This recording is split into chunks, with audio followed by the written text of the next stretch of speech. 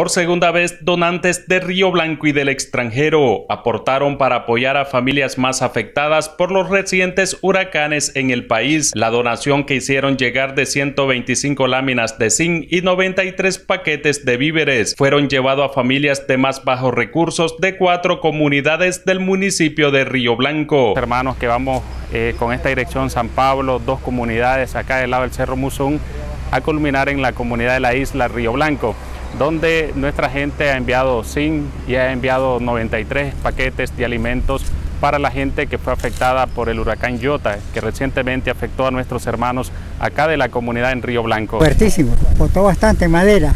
¿Le dañó la sí, casa? Sí. Porque la mayoría pues nos arrancó los techos, lo que pasa es que algunos techos lo volvieron a recoger. Estoy, estoy agradecido pues, pues que, me, que me están ayudando. A la campaña se unieron tres parroquias, la parroquia San José de Matiguás, parroquia El Carmen y parroquia San Francisco de Asís en el municipio de Río Blanco. He llamado pues que se sigan uniendo pues para que podamos seguir ayudando a estos hermanos que hoy en día están necesitados. Bien pues verdad, gracias a aquellos que nos han hecho posible que pudiéramos también compartir con ellos una, una lámina de zinc. Eh, las expectativas que tenían se ha logrado eh, venir a entregarles a ellos. Para llegar a los más afectados, los contactamos a través de líderes de la Iglesia Católica y la Iglesia Evangélica. Yo las palabras que yo le daré ya, que Dios los colme de bendiciones.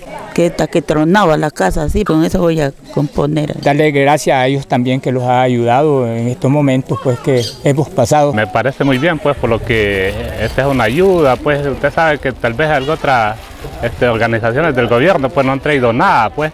Agradecer a cada hermano que siempre está colaborando para este tipo de obra social. Con cámara de Otoniel Mendoza, yo soy David Mendoza desde Río Blanco, Nicaragua.